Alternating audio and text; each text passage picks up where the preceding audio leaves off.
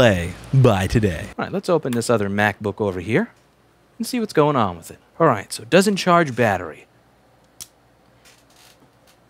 And we get no light. But it is taking 0.7 amps. Hmm. We ordered a 3D printer. Sunday wants to print a gun. Well, what's the point of 3D printing a gun? You get one or two shots out of it. It's useless. Tell Sunday if she wants a gun that she should buy a real gun that you can actually shoot and do things with. A 3D printed gun is so useless.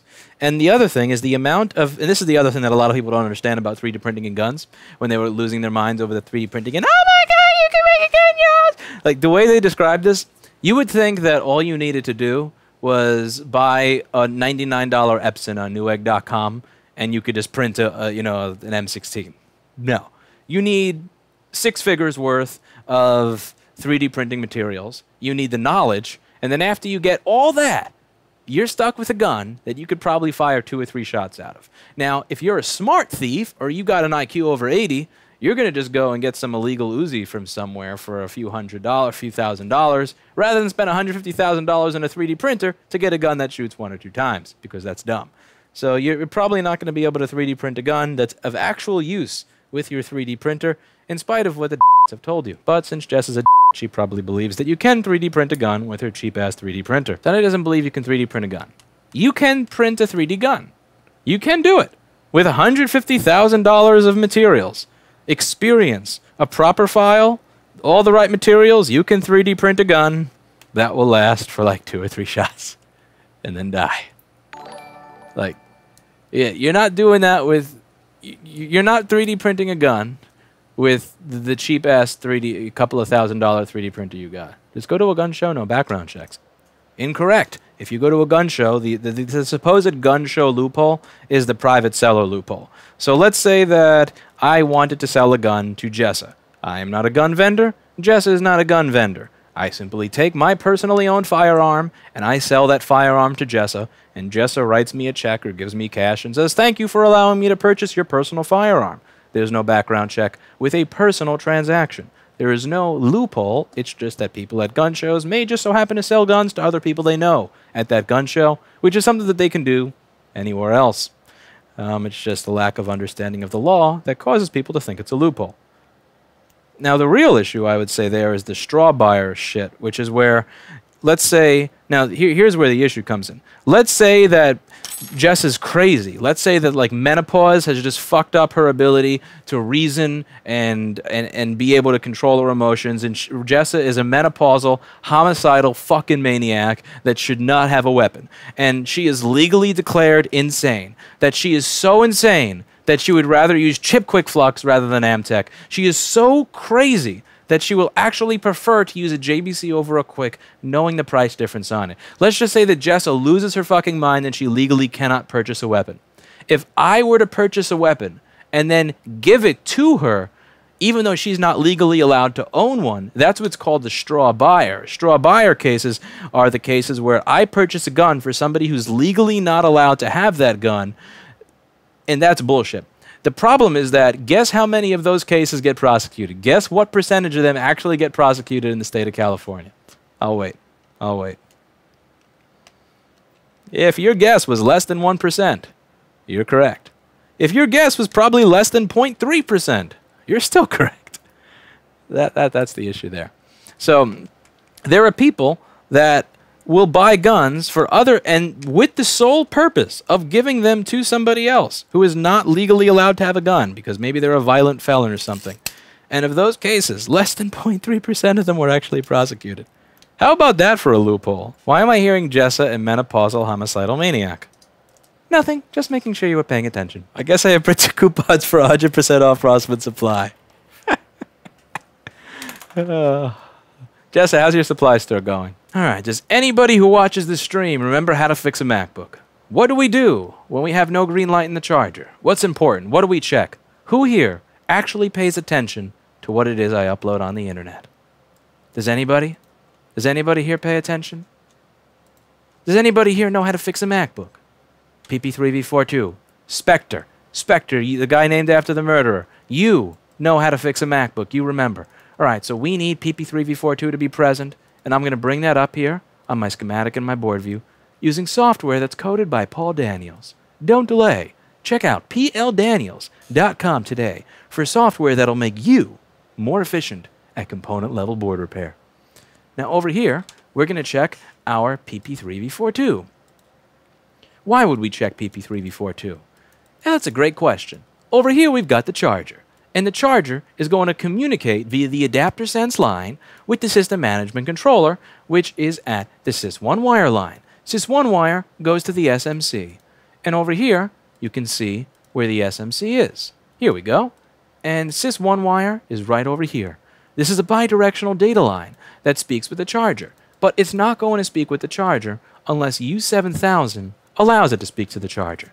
Here, this chip is going to let adapter sense speak to the charger if the voltage going in is less than 16 volts. So let's say somebody's drunk, or let's say somebody has a lack of coordination because they have a cold and they have not listened to the most basic advice from somebody who would want them to get better, which is that they drink their water if they have a sinus infection, and they weren't able to plug this in properly. Let's say they couldn't plug this in properly, so they're getting the 18 volts where the 3 volts is supposed to be. They're mixing up the PP18V PP18V5 power line with the 3 volt adapter sense data line. This chip is the protector. This is the shield that stops that from happening.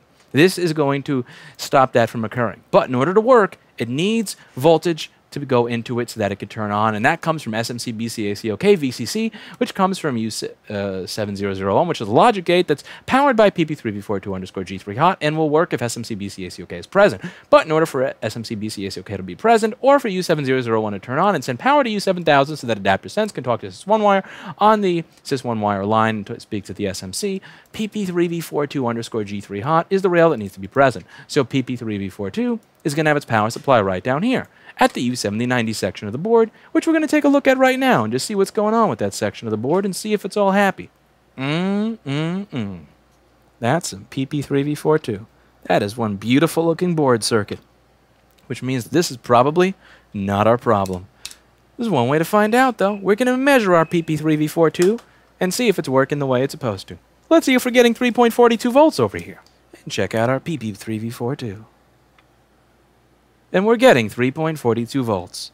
3.42 volts is present. But where's our where's our green light? Why is our charger not lighting up? This is unacceptable. All right. Let's see what's going on here. So the next thing to do is see if our if our system management controller is turning on. Now, our system management controller communicates with the charger, but it also communicates with another chip. It communicates with a chip called U7100 and this is the chip that makes our PP bus. And as you can see, the SMC is going to speak to the chip that makes our PP bus, which is ISL6259, on a data line. And if the data, anything on the data line is not working, that'll mean the SMC is likely. If the battery charger is not making the proper PP bus voltage, it'll likely mean that the SMC is not running. So let's check out where this leads us. Now, this chip is responsible for taking the 18 volts from the charger and turning it into a happy little 12.56 volts of PP bus for our system because it's very important to have a working PP bus. And it's going to talk to the SMC right over here on this data line that you can see on pins 10 and 11. Now, if the SMC is talking to this chip, it PP bus will be at its proper voltage of a happy little 12.56 volts. If you were to remove the system management controller from the system entirely, what you would get is 12.23 volts on your PP bus. This tells me that the SMC is required in order for this chip to make the PP bus the proper voltage. So a quick and easy way to tell if the SMC is actually on is to check our PP bus voltage. Now, where would we find our PP bus? We can find it on this fuse F7140 over here. So let's check and see what voltage we're getting on our PP bus. 12.6. Fuck. That means that the SMC is turning on. And we can confirm that by checking SMC reset, which is present over here. Fuck.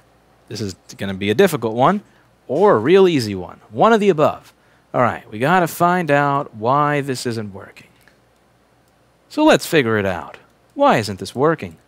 Let's check out our one-wire circuit over at U7000 and see what's going on over here. U7000 is going to be where the charger is going to be talking to the SMC. First thing to do is check and see if our adapter sense is actually present on pin 5. If we scroll over here to pin 5, let's see what voltage we get on the screen. 0.5. Ooh, that's no good. Remember what I told you? It's supposed to be a 3.3 volt data line? That means that there's no communication. So that means that the DC in board is either A, U7000 is shorting adapter sense to ground. Unlikely. Or B, our DC in board is bad, Louis is an idiot, and spent this entire time troubleshooting a, uh, a logic board issue when it was actually the fault of a bad charging port.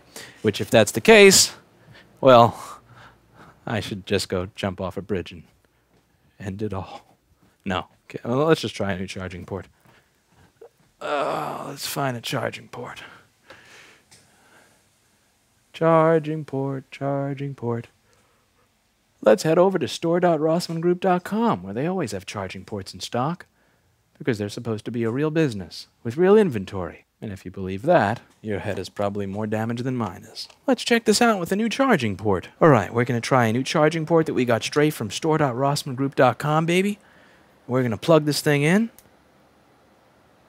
And it's still dead, which I'm actually happy about because since it's still dead, it means I'm not a total and utter idiot. That would be really embarrassing. All right, so we got a new charge port and it's not taking any amps. Go back to adapter sense. 0.5 still. Yeah, that's fuckery. That's not a one-wire signal.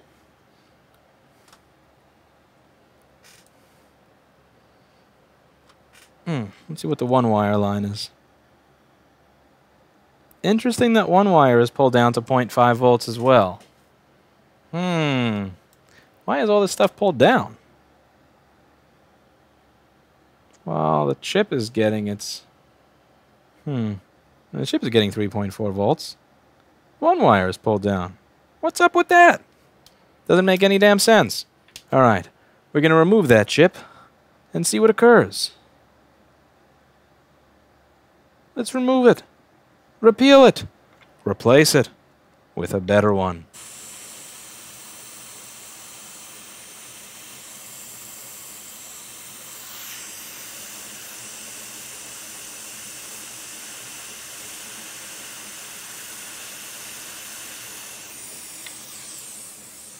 All right, we're going to wait for it to cool off a little bit and see if our adapter sense voltage goes up a little bit now that U7000 is off the board.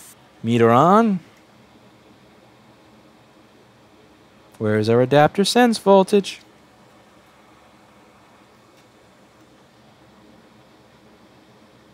Nothing.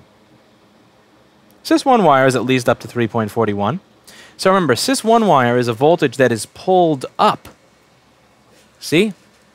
Sys one wire is pulled up by R7029.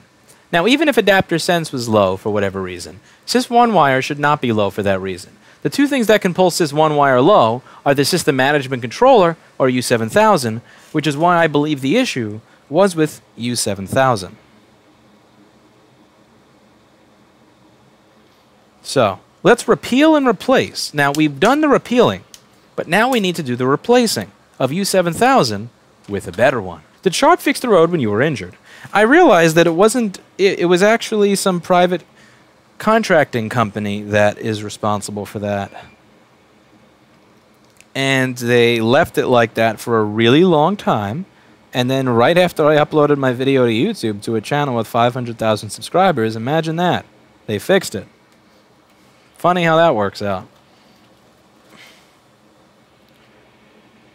But yeah, I found the name of the company, and uh,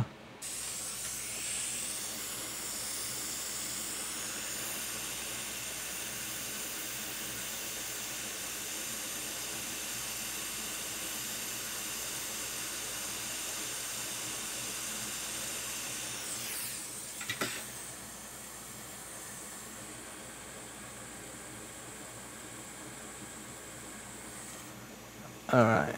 Now let's see if this works. Put our meter on. Put our meter on. Wait a second for it to cool off. Plug our charger in and see if we have any different result. All right. As you can see, adapter sense has went from 0.5 volts to 3.3 volts. And sys one wire is now 3.3 volts as well. And we have a light on our charger. I can let's turn the power supply off for a moment. Plug it in. Do this. The light comes on. Bada bing, bada boom. And the little piece of evidence that made it really easy, the hint that told us that it was U7000 after we removed U7000, is that sys1 wire was 0.5 volts as well as adapter sense.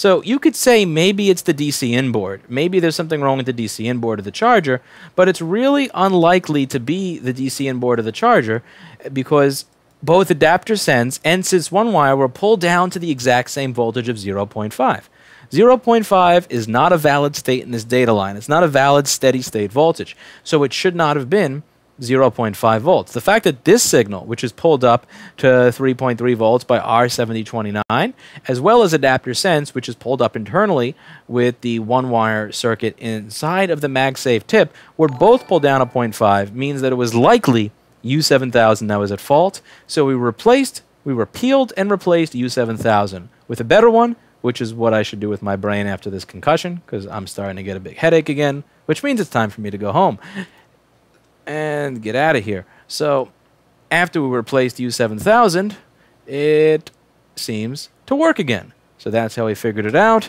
We now have the glorious. Actually, we don't have the glorious fan spin because this is one of those piece of shit. This is one of those piece of garbage 2015-16 models where the fan doesn't spin until the CPU is hitting like 90 or 100 Celsius. So you can't see fan spin. It's got to stay on for just a little bit longer uh, for you to get that. But it is taking up 0.6 amps on the charger, and, which means it's turning on. And we do have a light on our power supply, which means we have figured something out and that it does work again. So that's it for today. And as always, I hope you learned something. Thank you so much for watching. I really, really appreciate it. Thank you for subscribing. Thank you for going through these videos. Thank you for clicking the links in the description below. And above all, thank you for shopping at